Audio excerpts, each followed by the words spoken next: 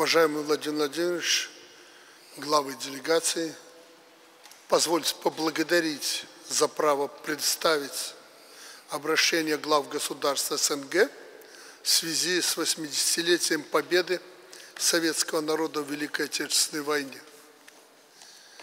Нашей стране это право дано самой историей, историей Советской Республики, первый принявший удар дивизии вермахта, первый задержавший их победоносное шествие по Европе. Это право нам дали герои, насмерть стоявшие в Брестской крепости и на поступах всех белорусских городов, закрывая путь на Москву.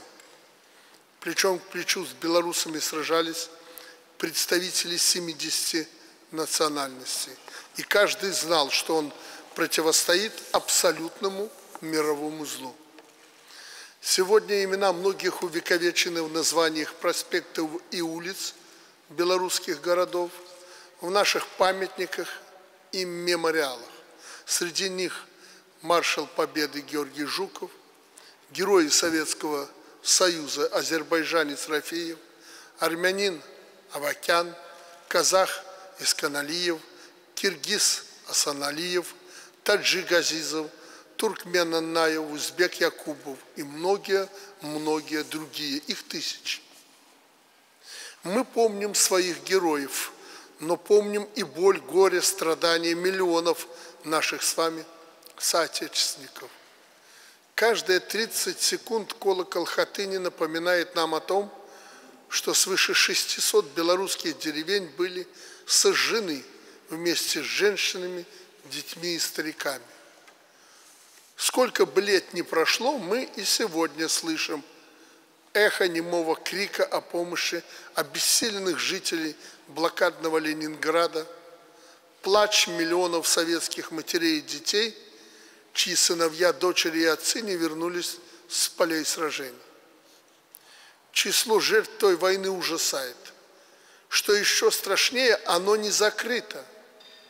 На территории Беларуси мы продолжаем находить массовое захоронение сотен и тысяч замученных и расстрелянных. Такая же работа ведется в России и других странах Содружества. А в это время в некоторых странах освобожденной Европы чествуют легионеров СС неонацисты открыто маршируют по улицам, сносят, оскверняют памятники воинам-освободителям. Участвующая в этом шабаше молодежь, воспитанная в духе национального превосходства и реваншизма, не имеет ни малейшего представления о ходе истории. Они не знают, что вместе с советскими людьми – сражались их предки, те же прибалты, поляки, бельгийцы и даже немцы. И заставили забыть, что фактом своего рождения они обязаны советским воинам, заплативших жизнью за мир на их земле, за свободу их стран и за будущее их народов. Украсть память можно, правду украсть невозможно. Не будь героизма советского народа, не было бы тех государств и людей, которые делают все, чтобы дискредитировать подвиг советского народа и забрать нашу великую победу, которая нас так объединяет. Мы знаем почему. Историческая правота наших народов является препятствием в реализации долгосрочных геополитических планов Запада, в которых нет места другим сильным державам.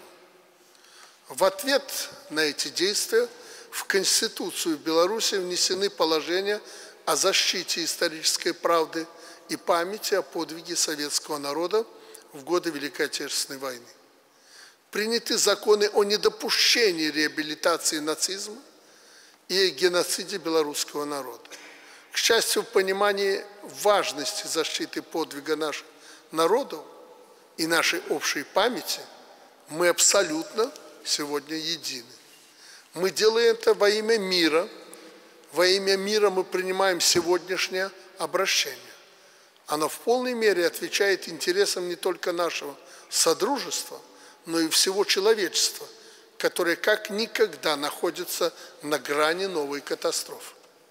Убежден, что этот значимый политический шаг продемонстрирует правдивую оценку роли народов наших стран в победе над фашизмом, уважение к общему историческому прошлому и конструктивное отношение к совместному будущему.